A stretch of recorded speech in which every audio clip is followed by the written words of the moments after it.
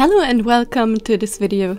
Today I'm going to continue with my little series of customizing my Nintendo DS game cases. And today's games are The Legend of Zelda and Professor Layton. I'm starting out with The Legend of Zelda and I'm going to draw the most iconic weapon in the game by far, which is of course the Master Sword. So I'm starting out with uh, the background and I wanted to make it a bit leafy, kind of in the woods, hidden, but not with too much detail, so the sword will still be in the foreground and be the main part. So I started out my journey with Legends of Zelda on my mom's NES with the first ever Zelda game and I thought it was a lot of fun. So when I saw the like kind of Nintendo stylus type ones, so Spirit Tracks and Phantom Hourglass. I just had to try them, and my first one actually was Phantom Hourglass. Spirit Tracks is not my favorite, although some of the mechanics in the dungeons are really great, but Phantom Hourglass, story wise, and just with how you explore the world per ship and with how you fight, definitely is to this day one of my favorite Zelda games, and I actually love the mechanics. And then they came out with the 3DS and, of course, the iconic remakes of Majora's Mask and Ocarina of Time, and I invested hours in them. And I know this is a bit controversial, but I actually love the Water Temple. I think it's an amazing dungeon, and I love the music. And it was just so much fun to play as a child and even now. I don't know how many times I restarted the game trying to discover new secrets and stuff. And of course, my favorite tune from the Zelda series is the Song of Storms. It's just so catchy. Now, game wise, Majora's Mask, um, I didn't like as much uh, from the dungeons and from the mechanics, but the story and just the darkness in Termina is just amazing. I loved that. It felt scary, but also mysterious at the same time. And although I definitely struggled a bit more with that game than I did with Ocarina of Time, it's still a lot of fun to play and trying to figure out how to get all the masks and how to finish all the side stories. And of course, we have games like A Link Between Worlds, which was quite a lot of fun couldn't really get into the multiplayer Zelda games, mainly because um, most of my friends didn't have it. So I tried to play it alone, which is quite difficult. Um, so yeah, not not my favorite, but A Link Between Worlds also was quite fun. It had like similar mechanic to Minish Cap on some of the old other Zelda games where you explore the overworld a bit more freely and just are limited by the items you get. I guess also similar to Link's Awakening.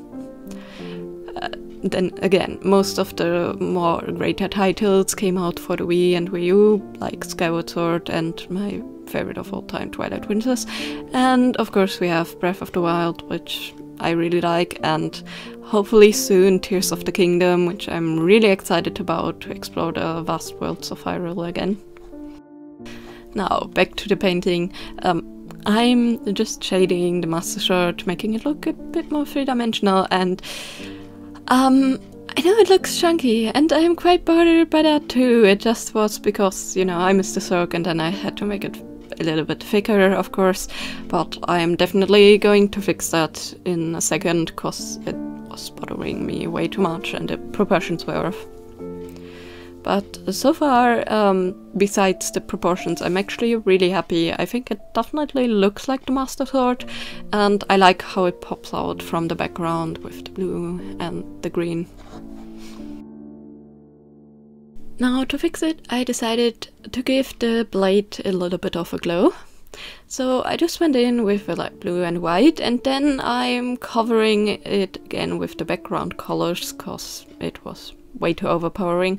So it still has a light glow, but definitely not as noticeable that I try to fix something here. And this proportion definitely fits way better.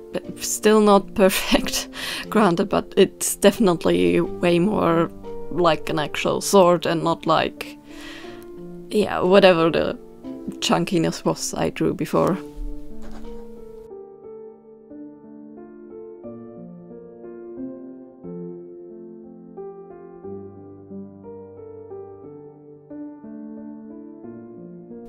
And with that, the Legend of Zelda side is finished.